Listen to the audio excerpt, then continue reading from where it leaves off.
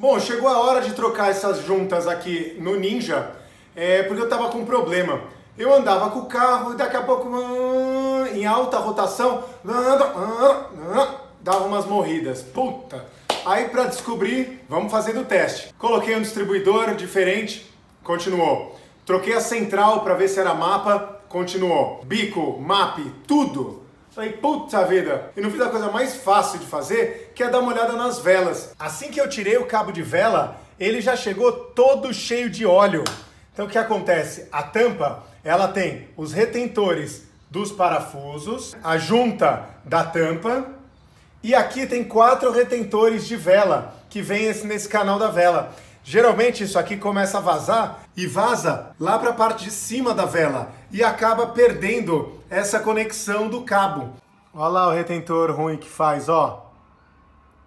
Vaza por aqui e estava dentro do cabo. Essa é a falha. Então nós vamos aproveitar agora, retirar e já vou mostrar como trocar essa juntinha. Basta uma chave 10, tá? Então, é, aqui olhando você provavelmente vai ter um tubinho aqui, vai para o intake, tá? Você vai retirar, o meu já é um filtrinho. A tampa, lembrando uma dica, deixa as velas no lugar, tá? Porque às vezes você pode tirar essa porquinha cai lá para dentro do cilindro. Aí, meu amigo, aí é ruim. Então, nós vamos tirar primeiro terra aqui. Geralmente vai estar tá aqui, tá? Nos outros carros. É que o meu já realoquei ele, tá? Então, e aí retira, no caso do besão, 1, 2, 3, 4, 5, 6, 7, oito parafusinhos. Primeiro a gente afrouxa. Vou tirar as oito porquinhas, porque no caso do B16 são prisioneiros, tá? Ele tem os prisioneiros. No caso do D é diferente, mas eu vou fazer um outro vídeo ensinando dos D16, tanto Y7, Z6, Y8 e etc. Tá? Então, esse aqui é só do Bzão. Vamos tirar as oito porquinhas. Retiradas as oito porquinhas, a sua tampa já vai sair. É, se sua tampa foi muito colada, o cara colou, você vai ter uma certa dificuldade. Cuidado aqui para não fazer muita alavanca e trincar o bloco, né? Trincar a cabecinha aqui. Então, no meu caso, foi bem feito.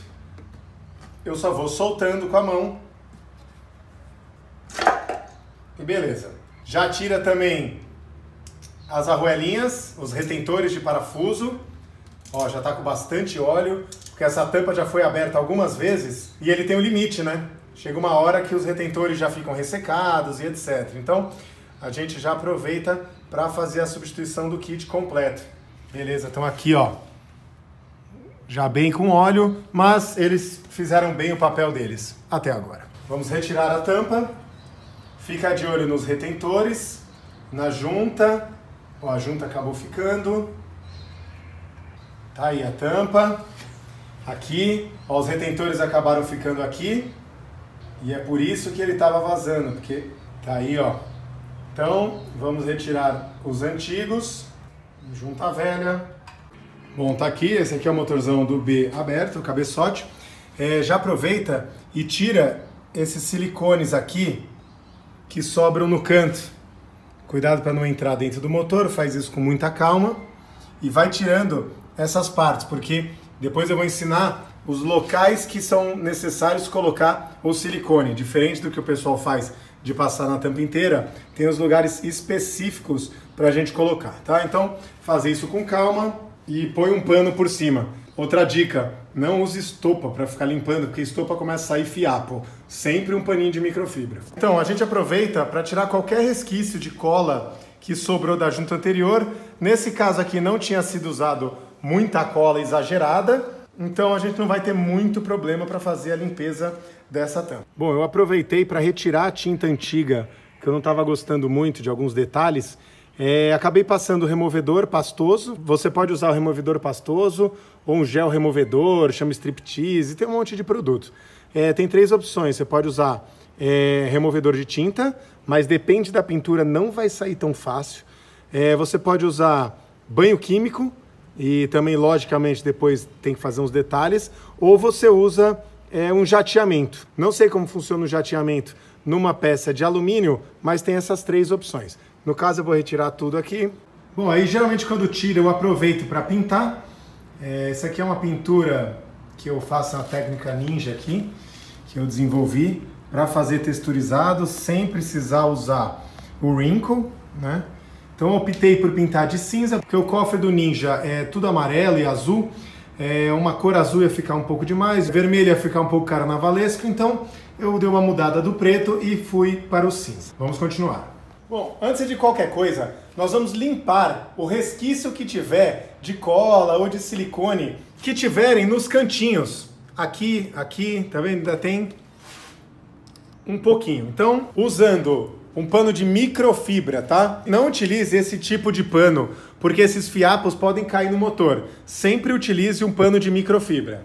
Então você joga um pouquinho de gasolina ou o que você tiver para limpar e passa na borda inteira. O importante é não ter óleo onde vai ser assentado a junta. Com muito cuidado para não deixar cair nada dentro do motor, principalmente se seu motor foi montado errado com muita cola. Feita a limpeza, você vai pegar uma superfície macia, pelo menos para não estragar a pintura que a gente acabou de fazer. Na própria tampa também foi feita a limpeza das partes dos retentores de vela, então nós teremos os retentores de vela, que são quatro, retentores de parafuso, que são oito, e a junta da tampa de válvula.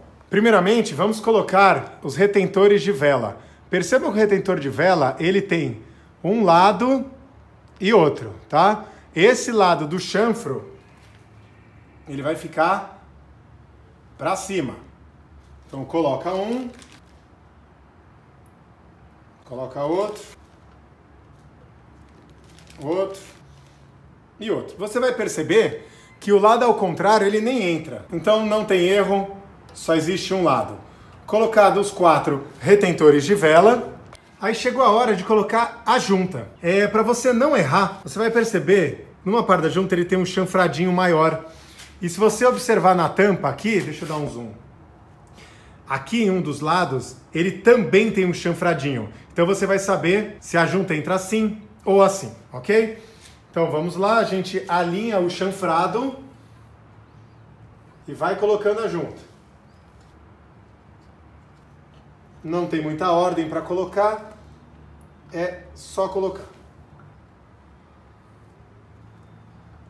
Colocado nossa junta, vocês vão reparar que na junta, bem nas curvas de 90 graus, eles têm um chapadinho. São os únicos locais da junta que nós vamos colocar um pouquinho de silicone. Então, nós vamos colocar aqui, aqui, aqui, aqui, aqui, aqui, aqui e aqui. Você pode optar por colocar direto lá no carro ou diretamente aqui na junta. Isso aí vai da técnica de cada um, nós vamos colocar na junta. A gente vem com cuidado, põe um pouquinho aqui, um pouquinho aqui, aqui, aqui. Isso a gente seguindo o manual, tá? É isso aí, cada um tem gente que passa silicone na junta inteira, tem gente que não passa. Isso aí vai de cada um. Eu prefiro passar, seguir o manualzinho. Eu acho que a Honda sabe mais do que a gente. Aí a gente vem com todo o cuidado do mundo e alinha nos prisioneiros. Veja se a junta não descolou. Correto. Tem que entrar como uma luva. Beleza. Tá colocada a tampa.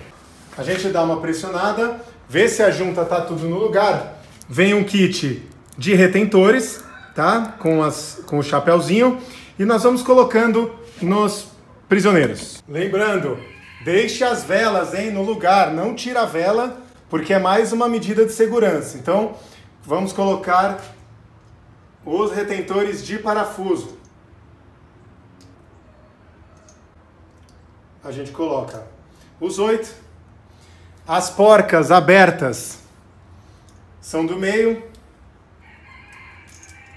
E as porcas fechadas são do canto. Beleza. Agora a gente pega uma chavinha 10 e vamos primeiro assentar, antes de fazer o aperto. Primeiro a gente assenta. E aí nós vamos seguir a ordem, que é primeiro do meio e cruzado, e depois os laterais. Vamos lá. Desce um pouco.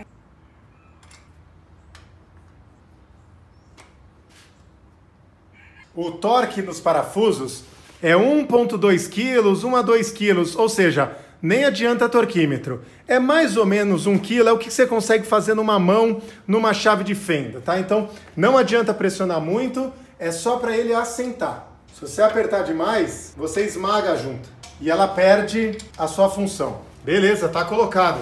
Vamos colocar os cabos. Acho que essa combinação do cinza com os cabos azuis, gosto bastante. Cabo 1, cabo 2, eu já, obviamente, já decorei aqui né, a ordem. Os cabos no distribuidor, eles seguem um formato de Z, ou cruzado. É, eu estou colocando na tela aqui, então você pega como referência esse ressaltinho que tem na tampa do distribuidor, que é onde fica a molinha, e você conta um, dois e sobe três e quatro, como está nessa imagem. O cabo, você tem que ouvir o estalo. Coloco o aterramento, que no meu caso é aqui atrás. É, originalmente ele vem aqui na frente, nessa parte ou nessa parte. Eu particularmente acho bem bonita a tampa original, ainda mais nesse estado. Deixa eu dar uma visão geral. Gostei bastante da cor. Acho que dá um refinamento. Ah, quem quiser fazer essa pintura aqui, entre em contato comigo no Instagram da Ninja, que eu faço esse serviço de pintura texturizada, tá? Você me envia a tampa, tem todo o processo de banho químico, limpeza, todos os materiais e a gente faz uma pintura dessa da cor que você quiser. Essa aqui é inédita, eu não tinha feito desse cinza que eu desenvolvi. E tá aí, tá remontada a nossa tampa com a junta trocada, os retentores de vela e os retentores de parafuso. Gostei bastante. Beleza? Muito obrigado. E siga o Instagram da Ninja Custom Cars para acompanhar o dia a dia aqui da oficina.